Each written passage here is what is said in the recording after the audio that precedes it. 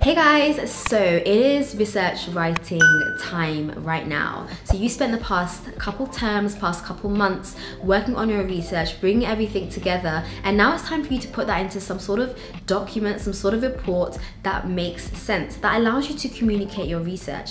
And the most important aspect of that is usually the introduction or the literature review, and that first section that brings together all the papers that are in your discipline and in your academic space and think about how they relate to each other and think about what you're bringing to that table. So I actually identified three really, really, really interesting websites that I think will really support your research and your like literature review and your findings. These will help you save hours and hours of thinking about literature and thinking about connections and how things come together and, and making you sound a lot better when it comes to academic writing. So I thought rather than doing like individual videos for each of these websites, I thought I'd just share them all in one go. And yeah, it's not sponsored. This is just websites that I think are really interesting and allow you, and they're quite powerful actually. They, they allow you to input a small amount of information and the output is, is quite substantial. So the first one, and I'm gonna kind of scoot to the side, the first one is called Connected Papers.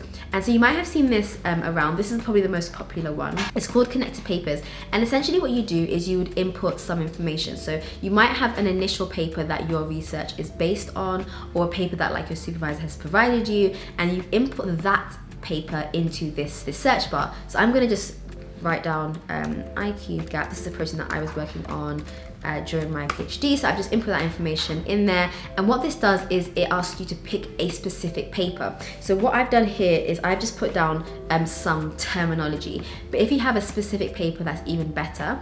So then you would click on a paper um, and what it does is it builds a graph that shows you papers and other research that is related to that paper that you are interested in. So it really saves you a lot of time um, looking and searching. So as you can see here, there's this beautiful, uh, by the way, I love the visuals of connected papers. So you can see here this, this like visual graph. So the way that it works, as you can see, it says that each node is an academic paper related to the origin paper. So it takes one paper and that's your origin paper and it gives you like other academic papers and they're all the, the other circles that you can see. And they're arranged in, in different ways. So firstly, they're arranged according to their similarities. So this could be based on like the topics, this could be based on methods, but they're, like the most similar papers. And, and I guess guess the ones that are closer should be the ones that you definitely talk about in your literature review. The node size is a number of citations. The node color is the publishing year. So you can see the group, this like teal color goes from like being really light and then more recent is dark. And this is really important because you want, especially in your literature review, you want to be talking about the most recent papers, particularly when you're talking about what's happening right now and you're talking about like the gap in your literature and the gap in you know your knowledge. You can't mention a paper from like 20 or 15 years ago and saying like that's a gap in literature unless it genuinely is from 15 years ago. And then also similar papers have strong connecting lines and they cluster together. Um, so if we look at this graph, the, the actual origin paper is the one that you can see there in the middle.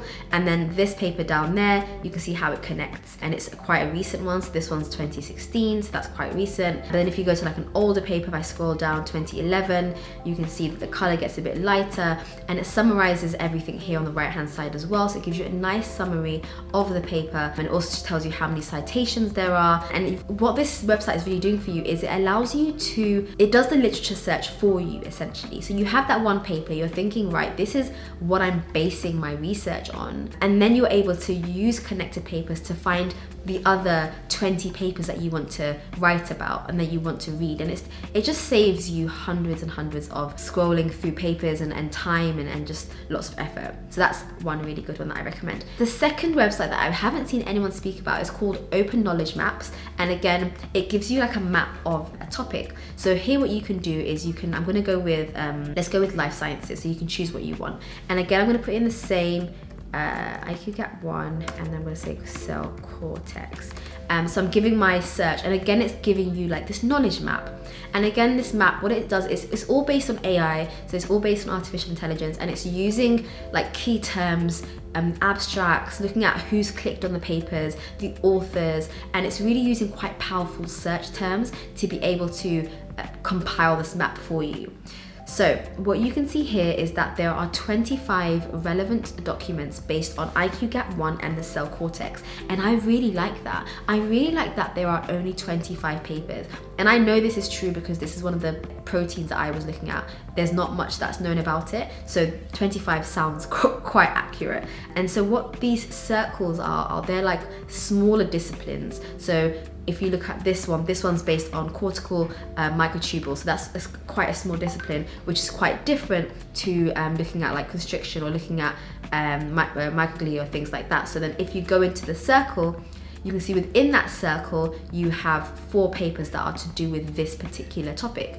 And they are all amazingly open access as well. So if you're someone who doesn't have access to an institutional login you can see that you can easily go click there and you can even download it as a pdf export it and see how many citations there are um, and you can even save them etc so this is a really good way again to look at um, a specific small topic and that's what you know you know that that's your dissertation topic and then you can hone it down and really look at the 25 papers that are the most relevant and they say here the most relevant are based on like um, data sources looking at text similarity um, the article metadata and, and, and, and, other ranking things like that so it, this would be I wouldn't say it's ex an exclusive list but for the most part, the most important papers that you'd be interested in, I would start here.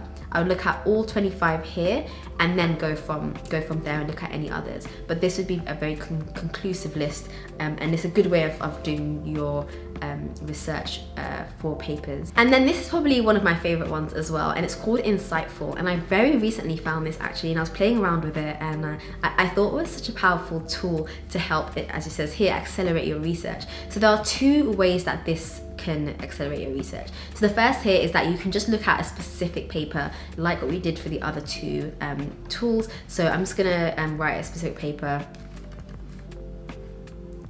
Um, so you can just search for one. I'm gonna just search here. You can see that I'm gonna do the same thing, right? So IQGAP one, let's go for the first one.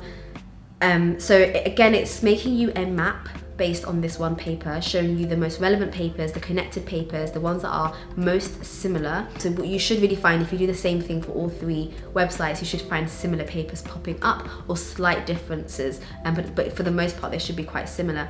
Um, so again, you can see how many people have cited this paper. So 192 sites, which is really, really, really high.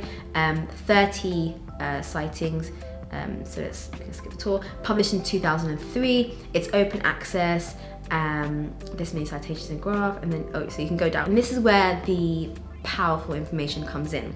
So the first thing you can see are similar papers. So these are papers that cite the same papers as your selected paper. So this is looking this is basically saying that your paper has these references and these papers here have the same references which would mean that you're talking about a very similar thing. And so you can see um, all of those papers here. So I would definitely start from this point, um, and look at every single one of these papers because it means that they're very similar.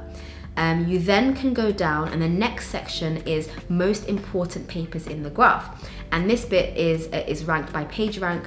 Um, and these are they tend to be a bit older so these are papers that would have had like a really important finding or a finding that has been useful for a number of different uh, stems a number of different uh, aspects of research so they've found a very important connection or a very important protein or they've identified a structure of something um, and this has been key for the development of, of research in that topic. So these tend to be a bit older. So here these are like from 1983, 1995, 1992 and they're integral for the understanding of what we know now. Then the next one is recent papers by the top 100 authors. So this is not necessarily looking at the specific topic, but looking at the authors that have published within that topic. So it actually, when you look at the papers, they're all related to what I'm interested in because those authors are also researching that field. So again, really good. Then you go down again, most important recent papers. Now this is probably what I would say is the least relevant section. Um, looking at them, they're not really, I mean some are, that one is, but for the most part I would say that it is more to do with uh, the general like field. So this would be good for like a literature review actually for like the introduction part or the the, the, the more general part, the more broad parts. But uh, if you want to be more specific, I would definitely go up and choose those ones. And then you've got more data here. You can see the top authors in this paper um, and, and, and top authors that have been have published in here. I'm sure I'll probably see like my supervisor here at some point. Um, and then you can also see top journals as well. So usually the papers are published in Nature, Cell, the Journal of Cell Biology. Funnily enough, all three that I, I published in Embo Journal, I published there as well. So yeah, these are, this is a really good way of, again, um, being able to take one paper that you know is 100% relevant to your work and then picking out other papers. These are three websites that are free to use and you can you know use all three of them and cross check and see if the same papers are like linked they should they, they, they, would normally be because they're using probably similar like AI tools and similar referencing tools. But yeah this is this is a good place to start especially if you're just thinking right how do I even begin the literature search? Um, these are three websites that can really really help you um, and like I said they're completely free and they allow you to like find papers that you may not have otherwise found just doing like a standard literature search. So yeah, I hope you guys find this helpful. And if you want to see more like summary tools like this, I'd be more than happy to do them. I've got other resources as well that I think are really helpful with like academic writing um, and, and, referencing and things like that. So let me know if you want to see a, a similar video and I'll catch you guys in my next one. Bye.